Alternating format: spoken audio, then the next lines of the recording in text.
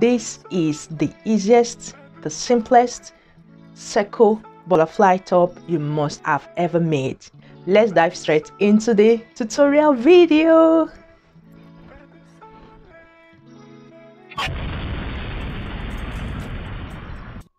So i'm going to fold my fabric into four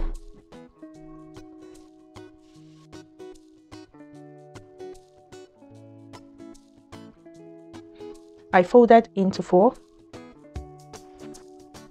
This is one, two, three, four. And here is one, two. And here is unfold. 10. So here is my shoulder line and my shoulder is 16. So it's 8 inches here. And I'm going to mark the neck to be before. Down here, I would make it 3 as well so it's going to be like this. And from here so I'm going to add my sleeve length to how you want it. So I'm going to make it long. I'm going to make it to 13 so it all depends. And I would say my my full length is 25 with sewing hem allowance is 26 that I would make it. So I'll just take it round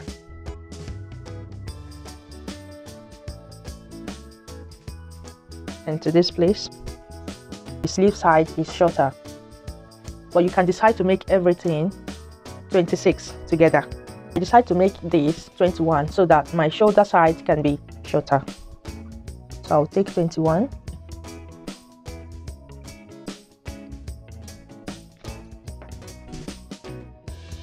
And then by the time I got to the center here, so this is where I want my 21 to stop and I will connect. So from here, I'll start to reduce it till I get to this 21 here.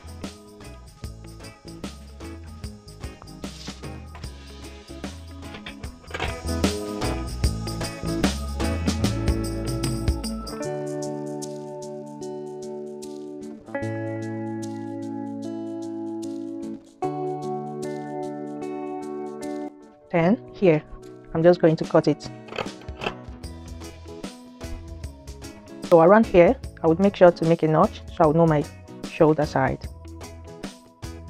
Make my neck interfacing so I get the piece of the same fabric and I fold it into four.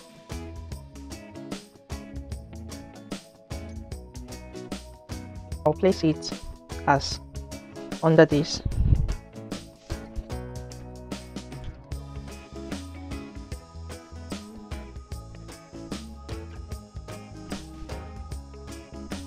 and I'll trace it out.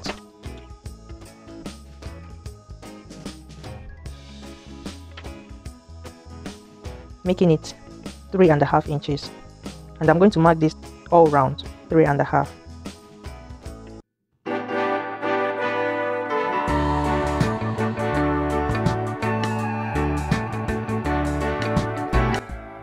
And as this is like this, when I open it, it's going to be like the top the next thing is to open it to the front part. So I know here is my shoulder here is my shoulder.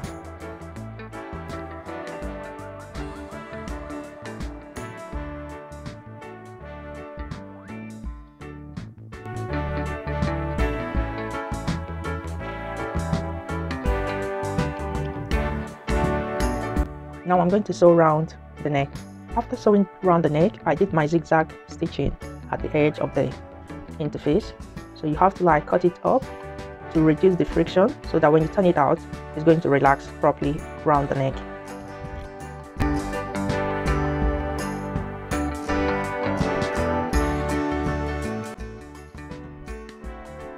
Now after doing that i'm going to turn it to the back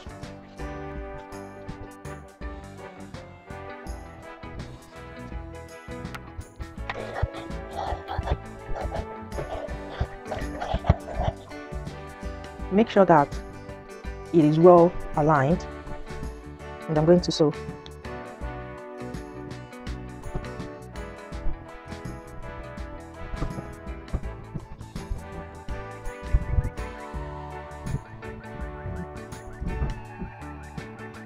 So after sewing it I now fold it on my shoulders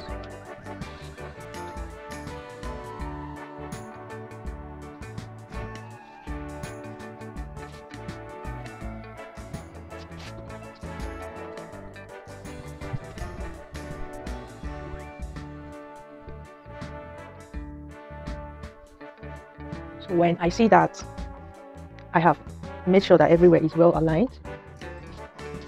So I know here is the center where the iron I iron during my iron made the mark easier for me. So this is the center. So my bust is 42. 42 I am dividing by 4 because here is dividing the front for me and is the same with the back. So 42 by 4, first of all, you place on the shoulder from my shoulder to 9 so this is my armhole. And from my armhole down here is my full length. So here is where my bust lies. And it's 10.5 here. So I'm going to sew here. And the same thing goes here. 1 2 9 and to this place this is the easiest way to mark this is 10.5 to my waist I want it snatched is 9.5. How do I know my waist? From here to 9 and to 15 is my waist. Then I take it in and I loosen it like this. So here I take it in, making sure here is my 9.5 for the waist to 15 and 9.5 and I take it out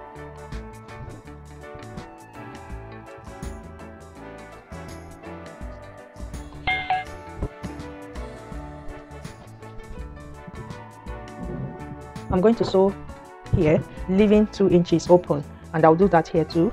So I'm going to sew from here leaving two inches open here. After sewing the sides is now well stitched. So the next thing is to hem the bottom the whole round. So to hem from that end all round. And you can fold it in like this and sew. So I'm going to fold it all round. And I would sew all round so guys this is the fitting. Make sure to iron the hems after sewing as this is going to make the top more relaxed as well. And this is your circle butterfly top.